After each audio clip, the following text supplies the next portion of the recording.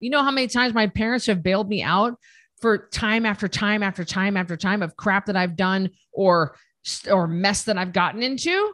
So many times they bailed me out.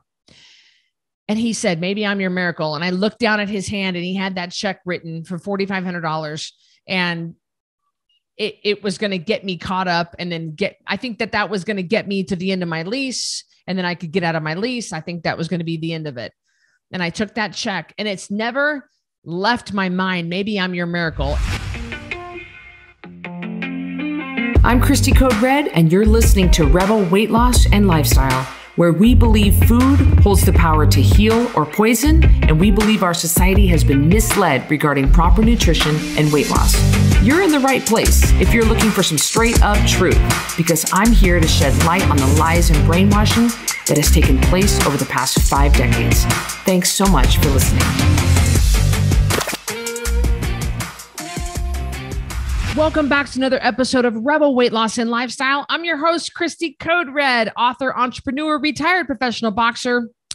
Yeah, this is a solo podcast. I need to do these once in a while because I'm the actual owner of Rebel Weight Loss and Lifestyle. And this is, you know, I this is my podcast. I do this, you know, the, I pay the bills and it's supposed to just be mine. I just rope Carrie into doing it with me because it's so much easier to do with her.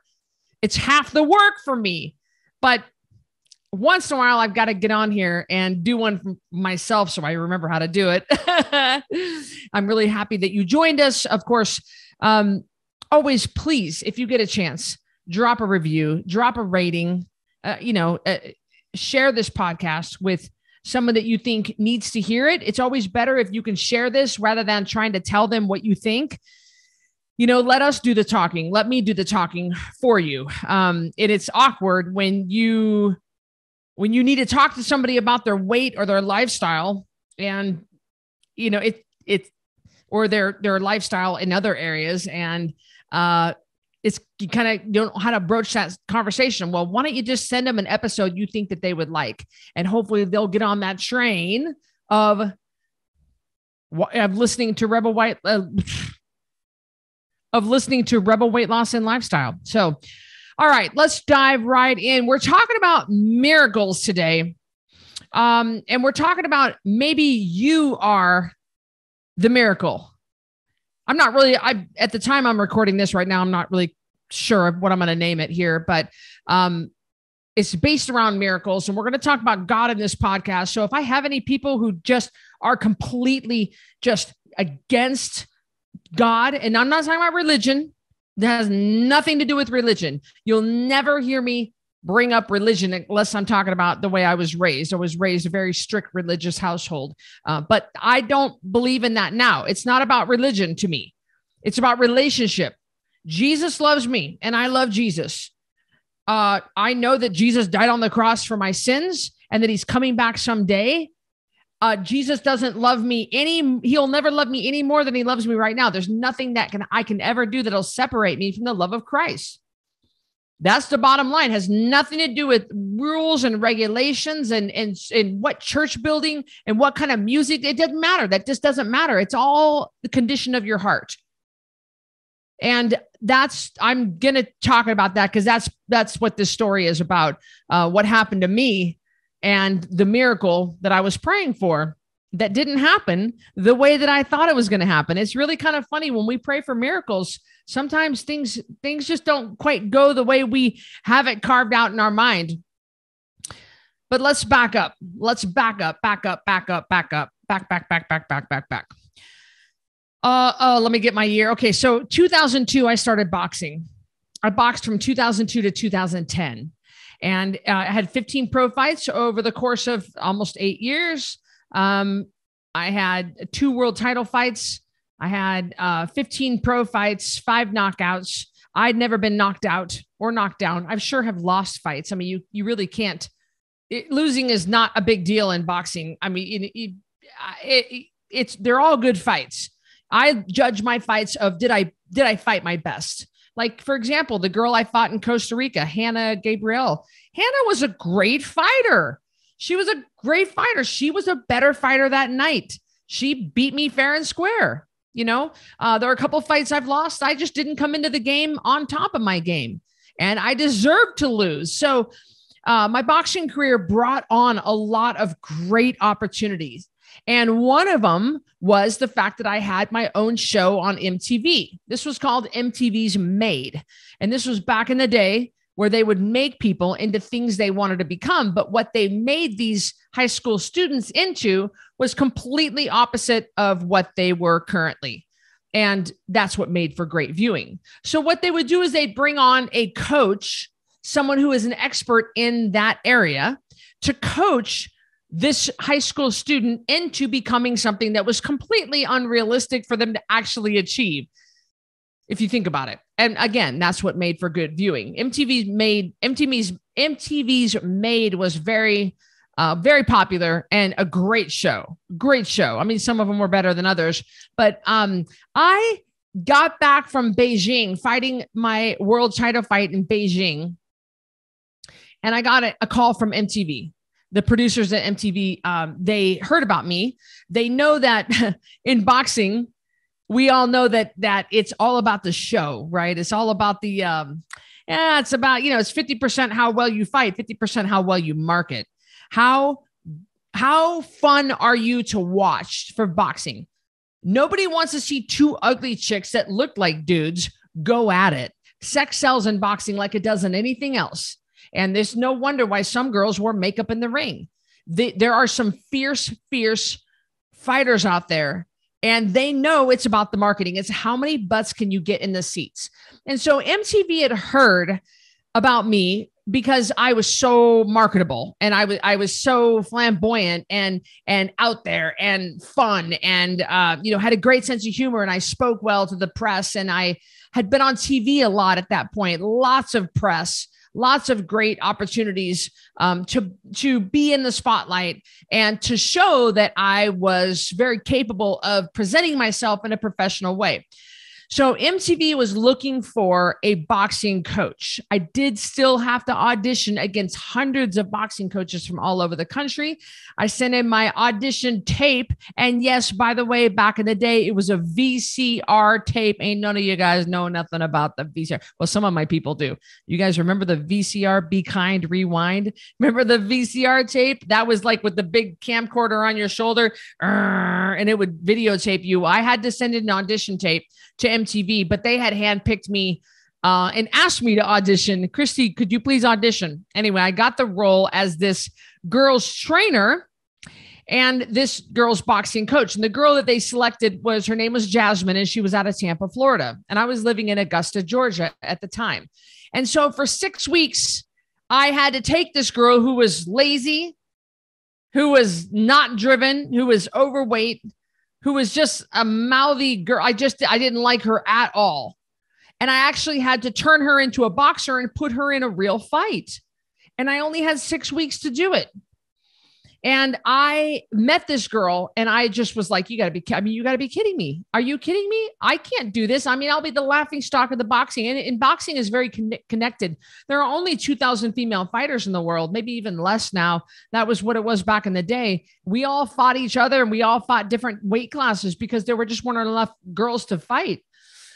So I knew I was going to be laughed at in the industry if I were to just was it was the boxing would look at this as a complete joke, but the boxing industry also knows you need to have press in order to. You can't put butts in the seats if people don't know who you are. So it was good. It was good. You know, it was a little bit of a joke as far as in the boxing industry. You know, but they understood that it was needed. You know, you have to have you have to have recognition. You have to have um, press. You need to have airtime uh, to bring to bring recognition to whatever sport you're doing. So, um, I flew back and forth every week to Tampa, Florida from Georgia. And I trained this girl. She came to Georgia for a couple of filming sessions. I mostly went to Tampa. Um, and we, I trained this girl to box in a real fight. They only gave me six weeks. And by the way, for those of you guys who are so like, I want to be famous, I want to be famous, like, I want to have my own reality show, what you see on TV is not the truth. It's not how you think it is. Um, now I am happy to report that what what you saw on my MTV show, by the way, is very hard to get in touch with my MTV show. Um, they MTV is very they have that thing on lockdown. I have it on YouTube, my MTV show on YouTube, my episode. But uh, YouTube, they are like the copyright, they have that thing locked down like crazy. So it's really hard to get in touch. I think I have one CD left of my boxing show. But if you try to put it out on social media and stuff, MTV shuts that down real quick. I don't know why they're so weird about it. So people ask me all the time, I want to watch your MTV show and I can't I can't show it in public. It's the craziest thing. So, um we filmed like those of you guys who are are so enamored with reality shows, I'm I was getting ready to say I'm really happy to report that what they did show was what really happened on my show. And I and a couple of the producers, a couple of times producers wanted me to um to fake a certain fake a couple of different scenes and I just wouldn't do it. I was like, "No, no, my reputation is too precious. I need to I need to do this the right way. We need to do this right way, you know." And it wasn't quite edited. The show wasn't edited like the way I would have done it, but I'm not a TV producer, so who cares? The the show was a huge hit. We were number one highest rated MTV show. We were the season premiere and immediately I got a call to go to New York City I was in a, a toxic relationship with my boxing coach at the time, Tom. I think that you guys have heard me talk about Tom. Um, and uh, he, you know, he was a good coach, but he was a a very uh, abusive man and toxic and um, extremely manipulative. And so I was looking for a way out. I didn't want to be in that situation anymore. And so when I got a call from uh, from Martin Snow, who owned the Trinity Boxing Club downtown in the financial district of New York City. And he said, Any of you guys know Martin Snow? He talks like this Yo, kid, yo, kid, I want you to come to New York and I want you to train at my gym. And so he owned a celebrity boxing gym in the financial district um, uh, in New York City. It's not there anymore a lot of things aren't there anymore. And so I was like, New York City, but I didn't care. You know, I sold my car. I had a I had a, a beautiful Lexus and I sold it so I could have some money. And I took that money and I rented a car. I packed just my clothes and a few anything I could pack in the car, and I drove to New York. And um, let me tell you, New York City is not like the Sex and the City sitcom or the Sex and the City movie any of the movies you see, any of the sitcoms you see, any of that stuff where you see these girls and they're wearing these designer clothing, guys, it is, oh my Lord, that is so not true. And the people that I did meet that were trying to keep up with the whole New York high society, they were in debt massively over their head, trying to keep up credit card debt, trying to keep up with all the fashion and the styles and the nightlife and everything that everybody did. And it's, so sad when you think about what these people sacrifice. They sacrifice their credit. You know, I can I know that there are like like people that I met, they were it working retail, working in a in a store in a high-end fashion store. And they're just getting paid an hourly wage, but they're working for some high-end um, you know, designer and they're not making and it is it's like it's all flashy and it's real exciting that people think they're making a lot of money. They're not. They're not. They're sleeping, they're sharing a room with six roommates and sharing a bathroom and sleeping on a small twin bed and just barely getting by. That is New York City. So at the time, remember this is 2005. I it was very difficult to find an apartment in New York City. A lot has changed. It's very different now in 2022. But at two, in 2005, I mean, it was um it was really hard to get an apartment. Anyway, I found an apartment. I moved in. At first, I had to sleep on someone's couch, you know, um, and I had to, I had to, you know, I share, I did, I did the shared apartment thing where I was one of six girls. And finally, I found my apartment. I had barely enough money for a down payment. And I started working for Martin, and I'm training celebrities like Cuba Gooding Jr., the singer Pink, all kind of all all sorts of celebrities came into our gym, and I'm training them. Pretty soon, I got I got uh, recruited by a high end gym called Peak Performance. It's no longer there as well. Peak Performance NYC, owned by Joe Dowdell, a wonderful man. And um, they recruited me to come and train celebrities at that gym. It was a very, very high end gym in a very secure building. And they trained all the top celebrities like, I don't know, like LL Cool J, like this, like Chris Noth and um, Hilary Swank and um, Ethan Hawke, um, Katie Couric, that was my client, and a lot of a lot of um, top performing athletes at you know like the I don't know I don't I don't follow sports so I don't know but I know the couple of the what is the basketball team? The Trailblazers? Is that a basketball team?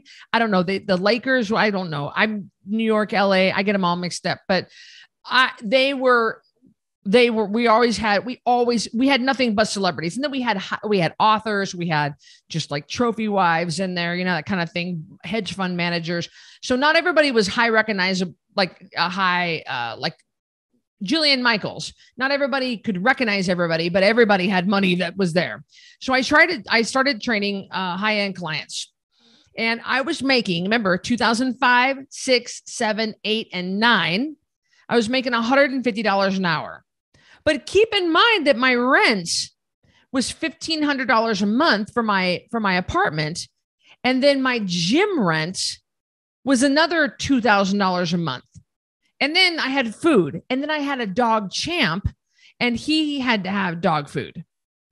So I and I did not eat out and I did not drink and I did not spend money frivolously. I remember specifically, I'll rabbit hole for a second. I was invited by a bunch of girls at my church because I found a church called the NYC Church or whatever. It was a really great church. And a bunch of girls asked me to, to celebrate New Year's Eve with them. And guys, I had $20. I had a $20 bill. Well, the way that New Yorkers do it, you might have seen this on the Friends episode, is they just split everything down the middle. They'll go six friends go out to eat and they split it six ways. Doesn't matter what you what you ate. It doesn't matter what you ate, what you drank, nothing. They just split it six ways. And remember that Friends episode where Rachel, Joey, and and Phoebe were broke, and finally they just were like, "We can't do this." You know, I'm not paying your half when you guys all have money and we don't have money. Same thing that I went through. So I had twenty dollars. That's it. And I remember I wanted so bad to be with these girls, but I didn't have. I just I I only had $20. And that's even back then, that wasn't a lot of money. So I went, I had water and I had a side salad. That's all I could afford.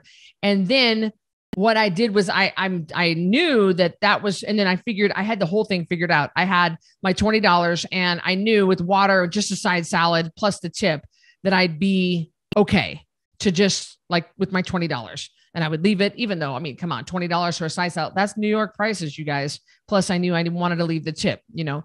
So what I did was I spent the evening with them. And then right before the bill came, I set my $20 down and I said, guys, I have to go. I have to go let my dog out. I don't remember the exact excuse. And I left because I knew they were going to do that whole bull crap. And everybody was you know, they were having appetizers and they were having freaking tomahawk steaks and like I seafood. I mean, the, the bill was, was just through the roof because there were like 12 of us. Well, yeah. So that was how I did it. I desperately wanted to be with them, but I could not afford it. So I really had no money. Every bit of money that I made went to my gym rent and my, and then I, my actual um, house rent because even though like the gym did not provide the clients for me. I they provided the facility, but I had to pay back a portion of what I earned back to the gym. And rightly so. That's that's that's typical for a personal trainer. I was I was doing great. I mean, I mean, I still was living paycheck to paycheck. I didn't know when my next because I didn't make money unless somebody paid me, uh, and everything was going fine until until the market crashed. Yeah. Now, different people feel the pain of the market crash, the 2007, 8, and 2007, 2008 market crash. Everybody kind of feels the pain differently. Um, but for me,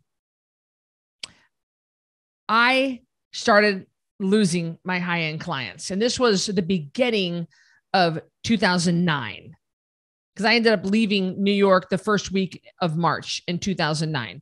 And so the market crashed and I'm starting to lose my clients one by one because what is the first thing someone's going to do?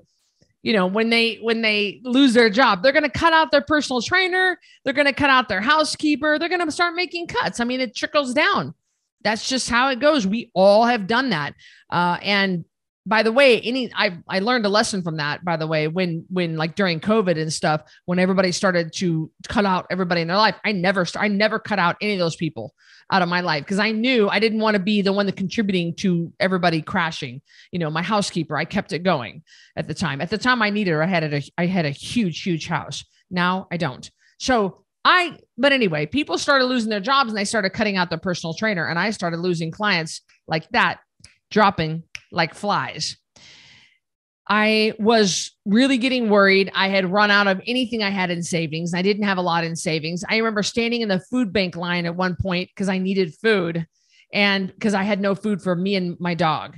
My mom and dad had overnighted me elk steak to eat but the problem is you can't have protein without fat. If you just have pure protein, you get what's called rabbit starva- starvation.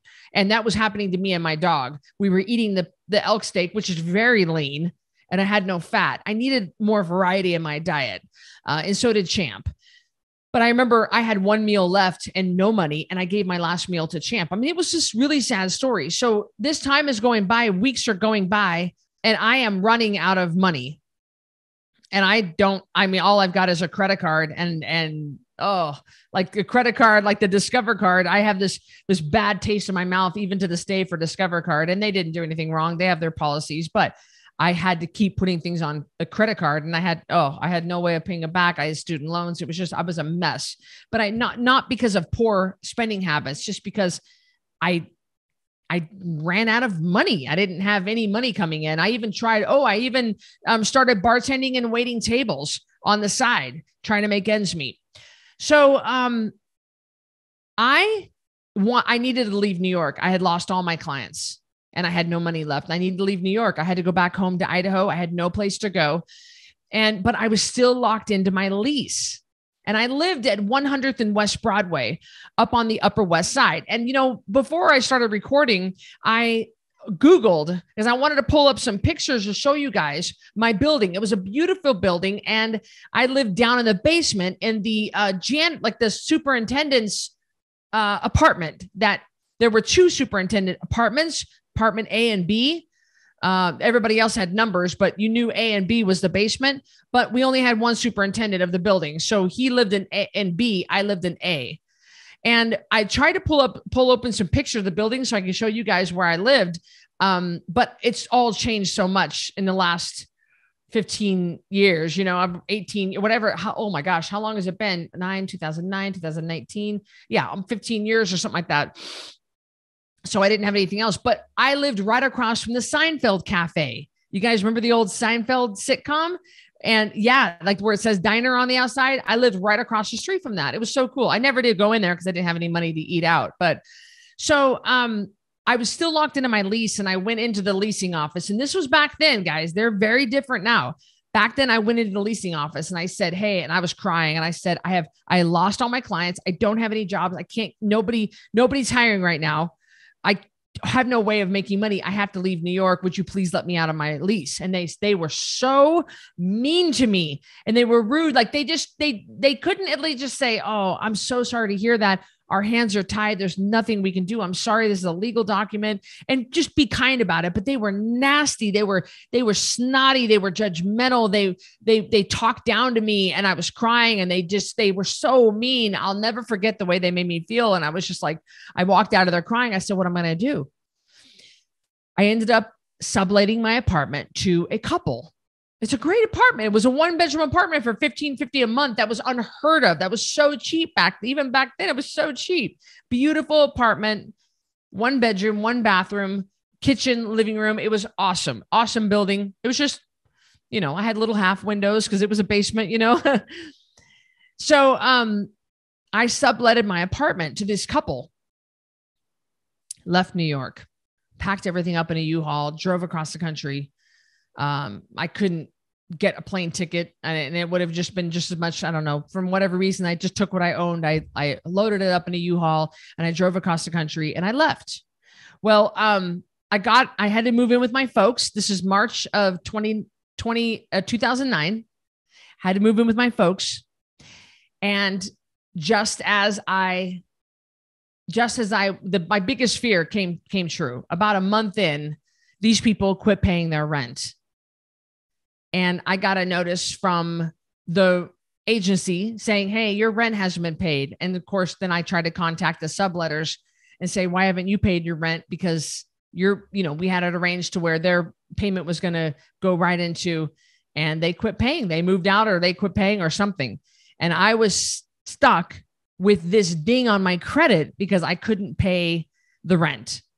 And I had no money. I couldn't pay the rent. I was behind. It was awful. And I remember crying crying out to God. I mean, I remember the exact moment that I got that call that said, Hey, nobody paid your rent and you need to pay it.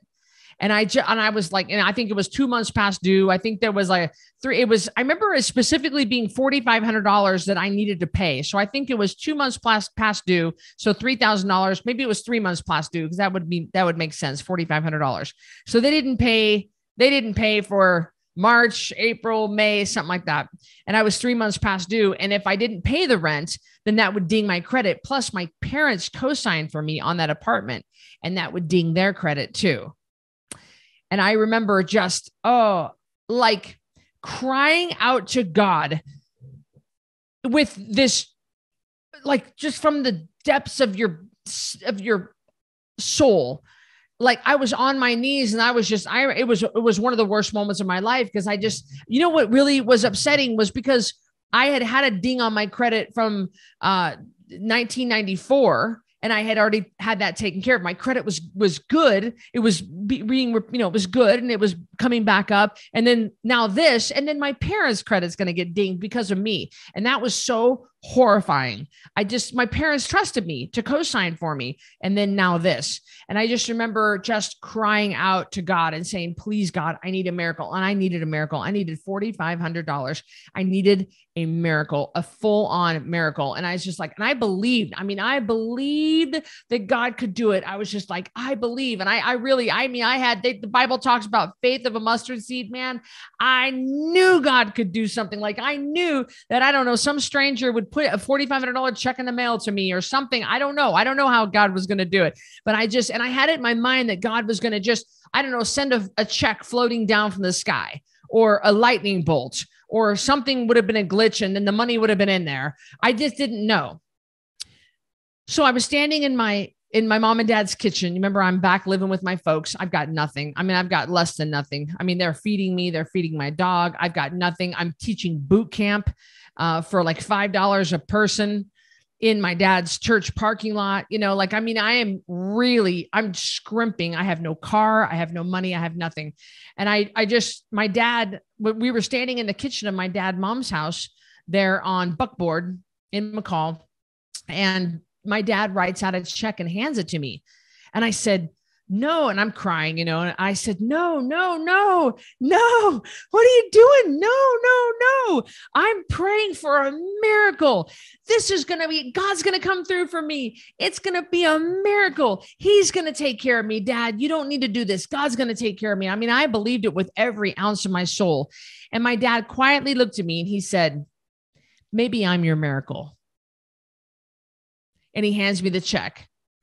And my mom's standing there and she's just kind of smiling. My folks are just looking at me. Oh my, you know how many times my parents have bailed me out for time after time after time after time of crap that I've done or or mess that I've gotten into? So many times they bailed me out. And he said, Maybe I'm your miracle. And I looked down at his hand and he had that check written for $4,500. And it, it was going to get me caught up and then get, I think that that was going to get me to the end of my lease and then I could get out of my lease. I think that was going to be the end of it.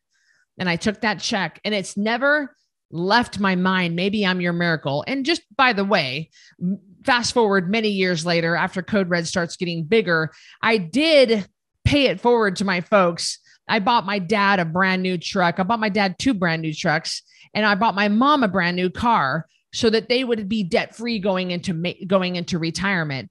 Um, and I have taken care of my family. I bought my little sister a brand new car, a Volkswagen Jetta, and I have taken care of my family um, a couple of times. I mean, not not anything drastic. I didn't buy them a house. Um, I didn't have that kind of, you know, I did I didn't it didn't come to that. But I have and then also not to try to impress you, just to kind of tell you the story. Uh, my little niece had gotten into an abusive marriage right out of high school, uh, had some dings on her credit report, trying to pay off student loans, uh, had a repossession due to her ex. You know, kind of the same thing you've heard from lots, lots of stories like this. And she was trying to claw her way out of debt. And i wrote i wrote her a loan for i think it was $15000 i wrote a check and i paid off all her loans and she was making payments to me. And i think about a year ago i forgave her of the rest of that debt because my dad ended up i was trying to make payments to him and my folks forgave me of that debt the 4500 check dollar check that they gave to me to get me caught up on my rent from new york city and get that whole thing uh, taken care of. Uh, I went to go pay that back, and my parents said, "You know what? It's okay." And I just like, wow. And I've never, never, never forgotten that. And so when my my niece was making payments for three or four years to me, I finally said, "You know what? Never mind." And I forgave her the rest of that debt because I was forgiven. My parents have taken care of me over and over and over. So I turned around when I was able to and I took care of them. I would take care of them more if they needed me to. I'm always asking my dad, hey, like, do you need a do you need something for hunting? Do you need some new clothes? You need some new hunting equipment? Do you need it? Like, what do you need? He doesn't want anything. He doesn't want anything. He never lets me get anything for him. And so let me bring this ball back around. You're like, okay, Cristy, what a great story. What the heck does this have to do with anything? My dad said, maybe I'm your miracle. And I think that a lot of times we pray for things that we can do ourselves. We pray for, oh Lord, help, you know, help Mary with, uh, you know, help Mary. She's a single mom with two kids. Help her pay that rent. She needs that rent. Well, no, no, you pay Mary's rent. You pay Mary's rent. Stop asking for the miracle that you could absolutely do. I, I don't ask God for miracles that I know I can do myself. I will ask God for other things. And they'll be big things, things that are just so outrageous that it would have to be a miracle for them to happen. You know, I have asked um, I've asked God to put me on some big stages with 50,000 people in attendance, and God will put me there if He thinks I'm ready and when the time is right, but not before. I'm I think that a lot of us ask for miracles that we can do ourselves. We ask for big changes that we can do ourselves. I, I have people that come to me with code red and they say, I've been praying for a miracle with my weight. And then you came along.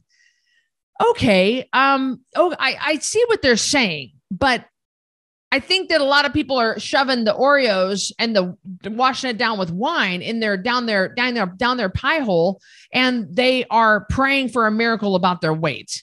Well, you know, like it seems clear to me that the first thing you should do is just stop with the Oreos and the wine. But a lot of people think, well, they're low, that maybe they think that, well, they're low fat Oreos. Maybe I don't know. I don't know what they're thinking. Some people just don't know. And then some people you're like, why are you paying for playing for praying for a miracle when it's something you could stop doing right now? Are you praying for a miracle that you could take care of right now? Is this something that you you can do yourself. And I'm I'm all for praying for all kinds of things. Pray, pray for everything. I mean, the enemy wants you to think you can't pray for that. So I believe in praying for it. But as far as making it happen, oh Lord, oh, one lady said to me one time, I pray I can stay on track today. What I pray, no, we don't we don't rely on just hope and prayers and wishful thinking. We set ourselves up for success in the code red lifestyle we set ourselves up for making sure we ha- we have we don't have any sugar in the house. We don't have any alcohol in the house. We make sure we don't have any any sugar hidden in our glove box or our desk drawer at work. We make sure that we're not going to the grocery store hungry. That we don't, uh, you know, you're wanting to. Oh Lord, I hope I can stay away from that alcohol. And then you go out to happy hour with your girlfriends. You put yourself in a situation that you can easily cave, and then you just pray for the strength to be able to do it wait a minute. How about helping yourself by not putting yourself in that situation? Don't make God's job any harder. There are a lot of things you can control. And then you pray for the things that you can't. But I, I see people praying for miracles all the time, and there are things that they can take care of themselves. They can they can absolutely do. And I, I find that to be so interesting that we're not interested in helping ourselves. Well, I'm praying for it. That's good. I hear you. But how about we do this in between? Like we do this for the time being. We go ahead and maybe maybe I'm your miracle. I'm saying to you. Maybe code red is your miracle. Maybe I am in the position that my dad it was and writing the check to, to bail you out. Maybe I'm bailing you out. I'm bailing you out with this with this program with this real food, water, and sleep. I've got over a thousand videos on YouTube covering every single subject you can imagine. I've got this podcast. Oh, we've got the 10 pound takedown. We've got so many resources for you. I've got my Instagram. I've got my TikToks. I've got so many things to help you stay on track. We've got the Code Red Network that is free to be in, that's free from social media and free from ads and algorithm and drama and all that baloney. We've got so many free resources, and yet you're sitting back and praying for a miracle. Maybe this is your miracle, but you've got to swim towards me. You've got to come our way. You've got to take the step. Oh, I'm just, I'm just asking God to come through for me on my weight loss. Mm, no, Karen. No. Uh, you need to quit buying the Keebler elves. That's not a God thing. Quit buying the Keebler elves. Don't buy them and bring them home. Pray for it if you want to, but don't wait for some big booming voice to come down. Use your common sense. It's just like the medical community. How about these zealots, these crazy people who are, they think that like they don't believe in medicine and they, and they just pray for a miracle. God has or has or, ordained and has um, has given this knowledge to these doctors to help you. And yet you won't you won't get the help because you're praying for a miracle. Maybe that's your miracle. It, i just listened to a joyce meyer episode here recently and she takes anti anti anti-anxiety meds. And i don't know what anxiety meds i don't know what med it is but she takes anti-anxiety meds. That's what she called them and people were criticizing her because they said, I can't believe that a powerful woman of God like you takes anti anxiety meds. Don't you believe in miracles? Don't you believe in healing? She said, 100% I do. But I went through massive incest and massive sexual abuse from her dad and, and physical abuse and um, oh, horrific abuse, things that you can't even imagine from her own father for 15 years. That's going to leave a mark. And so our modern medicine has come up with ways to help reduce the anxiety that she still deals with all these years later. You know, she's in her 80s. And this, you know, the abuse stopped when she left home at 18 years old she's got massive, massive trauma left over from that. Can God deliver her? Yes, God has delivered her, but she's smart enough to use modern medicine as well as exercise, as well as good, solid nutrition, plenty of water, good sleep, no stress. She's covering all her bases. And she takes anti anxiety meds. And I don't think there's anything wrong with that. I took an antidepressant for a little while I got really, really sick in 2021. I have shared this with you guys. And my doctor said, you know, Cristy, your stress level, my stress level was through the roof. I had multiple organ failure. I was at high risk for a stroke. My blood pressure was really high because I have a head injury. They were worried about me. I was not recovering. I was had uh, fluid retention everywhere. Uh, my my kidneys, my liver, my my body was not processing, and I was shutting down. It was not good. And my doctor suggested that I go on an antidepressant to take the edge off my life. I was having problems with Miles. We were having problems in our marriage. You know, that was the beginning of the end. And I did. I did it. I did it for three months. I took I took an antidepressant. What was it called? Um, Lexapro. I took a Lexapro And I, I and I I I'm I don't know what you're going to say about this. I don't know. In addition to eating clean, in addition to you know, I changed my stress. I brought my stress way down. And the way I operate now is like two different people from a year ago. Maybe that was my miracle. Instead of just praying for a miracle and standing around and waiting, change what you can change.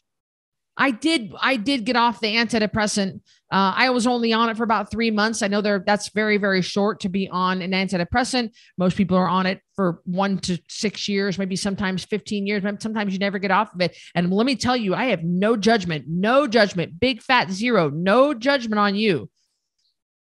I would like to see you also change your diet, start sleeping more, drinking your water, don't get off the alcohol. Alcohol is poison, guys. That's why you don't feel good when you drink it. It's poison. Your body tries to get rid of it. That's what you do when you throw up. That's what you do when you have a hangover. Your body's trying to get rid of the poison. So, by you covering the basis of what you can control, using modern medicine if you need it, and praying, I think that's good. But maybe code red is your miracle, the way that my dad was my miracle. And I, when I say my my dad, by the way, I mean my dad and mom. There was no my mom and my dad are like that was my dad never would have done something without my mom agreeing with it. I just, my dad was the one that was saying it. Mom was standing right next to him when, when this all happened. So, mom, I know you're listening. I know it was you. It's both your money.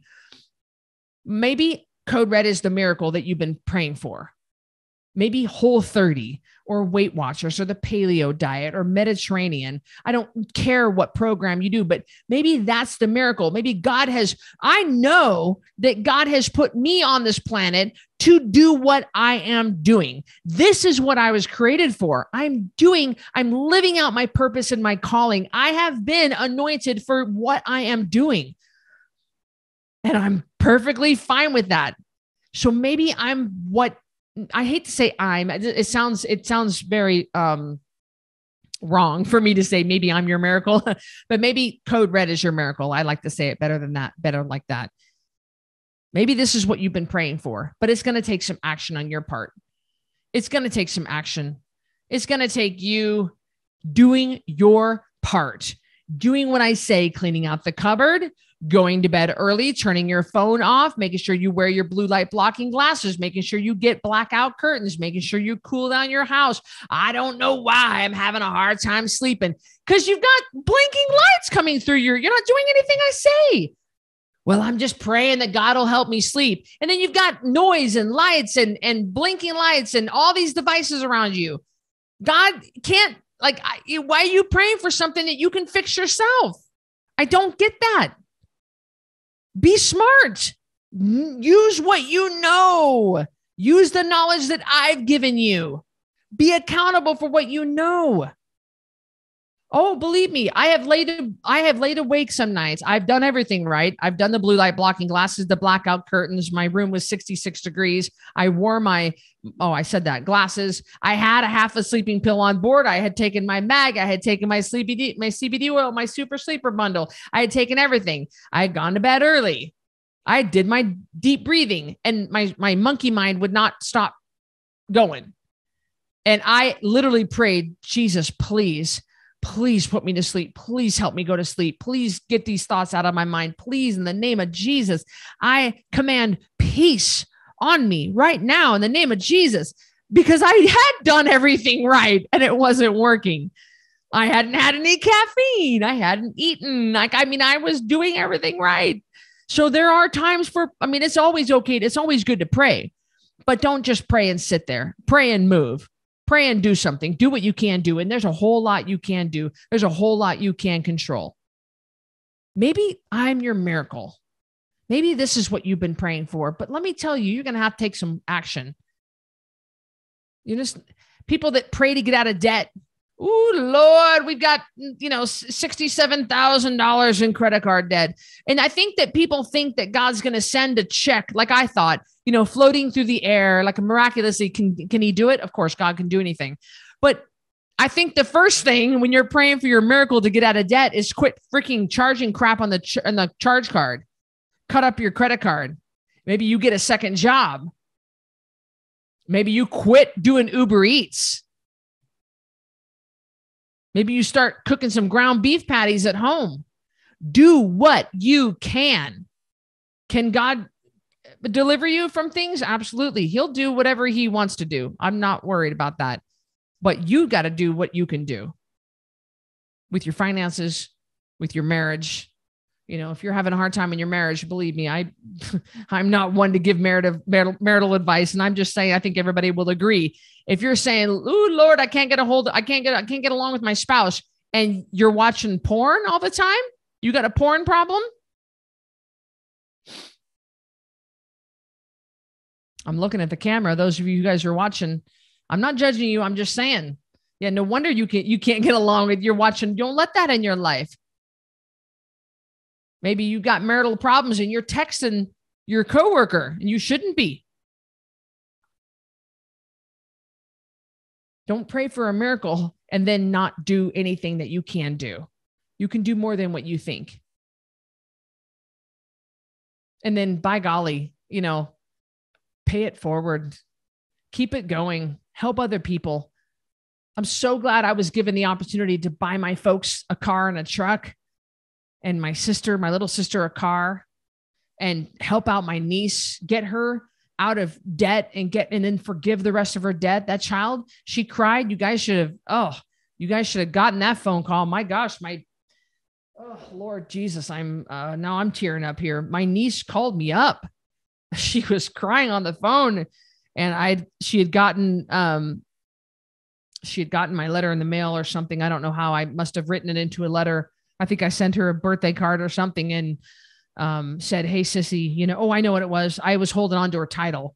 That was the agreement. If I wrote that long for loan for her, I would um, hold on to her title in my safe. And she said, Aunt Cristy, can I have my title so I can get it re- so I can get it retitled or whatever? And when I sent it to her, I said, you know what? You own this car. And she sent me that. Oh, she called me up. She was crying. I was crying. she said, Aunt Cristy, you have no idea how much this means to me that you forgave this debt. I mean, this frees me up, blah, blah, blah. You know, I knew she was, I knew she was good for it. That kid paid every month without missing a single payment for years. She proved herself to me. The nice thing about God is we don't have to prove ourselves to him. He loves us no matter what. We don't have to earn it. We don't earn it. I, I, I, we can't wrap our brains around the love and the forgiveness that Christ has for us. And I didn't mean this to turn into a sermon. Maybe I'm your miracle because I have been given the knowledge to get you healthy. But you got to take that knowledge that I freely give you and I say, here, here it is. What are you going to do about it now?